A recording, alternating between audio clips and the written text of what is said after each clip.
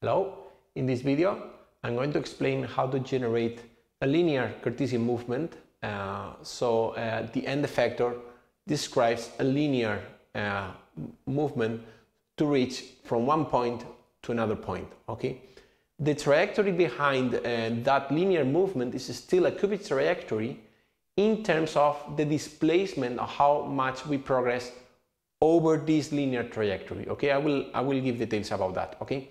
In the video description, you have a document with all the maths that are behind uh, this uh, particular code because we need to compute the inverse kinematics that we explained in a previous video, but also we need to compute the forward kinematics, okay?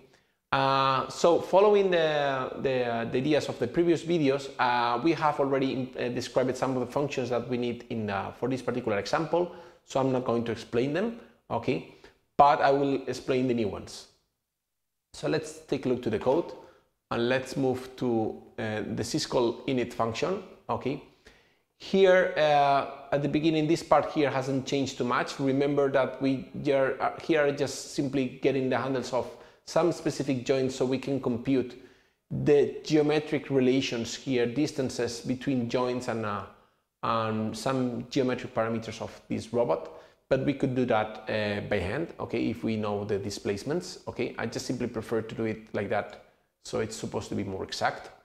Uh, here, the difference is that I will provide four points. In this case, uh, these three points I indicated with uh, a given numbers in the Cartesian space I would like to reach. And the last one, I would like to return to the original position, which is Q0, uh, it's actually this Q0 here, it's the same as before, but now I use the forward kinematic function that will give me the actual position of the end effector for a given configuration. Okay, we will explain this uh, function later, okay? But anyway, uh, here the difference is that now I compute, uh, uh or I call the compute trajectory line function. It accepts uh, initial configuration it accepts a sequence of points I would like to move and again the time intervals that I want to spend on each of these trajectories as well as the uh, kinematic parameters of this robot, the geometry basically, okay? And again, I have a number of points and then I execute uh, or evaluate these trajectories I generate here just here in the syscall actuation function by setting the joints to the corresponding position, okay? So let's take a look to the compute trajectory line function, which is somewhere here. Yep. And uh, this function, it actually it's merging or it's joining a set of trajectories that I use in this case the move L instruction. Okay. Uh, this instruction it's reproducing or emulating the rapid instruction that we use for ABB robots that requires initial, uh, in this case, uh, configuration where the robot is and requires a final um, point I would like to reach. But the difference with respect to the move J instruction is that the displacement in the Cartesian space of the end effector will be totally linear. Okay, we will see that. Okay. Uh, as before, uh, we need to use the inverse kinematic here so that for the next movements we know uh, the last configuration we had from the previous uh, point of that trajectory.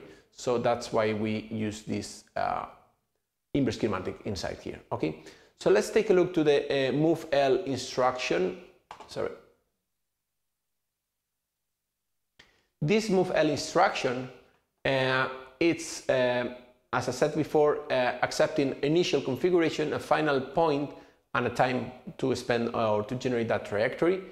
It's using the forward kinematics uh, in order to compute from Q0, compute the initial point in the Cartesian space. So this is actually a point in the Cartesian space. And the difference compared to what we have before in the move J instruction is that now the cubic trajectory it's done in the Cartesian space so that I generate a cubic trajectory to move from P0 to PT and that gives me a set of parameters for that specific trajectory in the Cartesian space. And that's what I'm doing here later is uh, just simply evaluating this trajectory. So for every time instant I want, I have a point in the Cartesian space. okay? So it's exactly the same function, actually. It doesn't matter if we evaluate uh, a cubic trajectory in the configuration space or the Cartesian space, it's still a cubic trajectory on that specific space, okay? So here, as I said, I have a set of points in the Cartesian space that I translate into the configuration space, which is the actual thing that we need for a robot uh, using the inverse kinematics. So every point in that trajectory we are using, for every point in the trajectory, we are using the inverse kinematic uh, function. So we know the actual angles that we want, okay? So this forward kinematic uh, function, the rest of the functions are exactly as we have seen before, but this forward kinematic function here is just uh, simply uh, computing uh, the required math so that for a given uh, configuration I know how or the position of x, y and z of the end effector, uh, the tip of the gripper. And these maths are, are being explained in the, in the document that I include in the video description. Okay. So once we have seen everything here, uh, let me just simply uh, run the simulation and see how it works. Okay.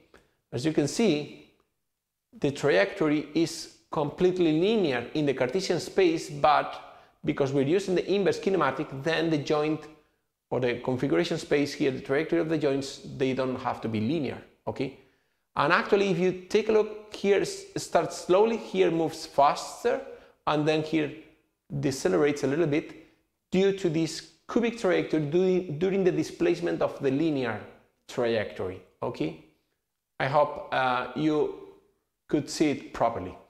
Okay, thank you very much.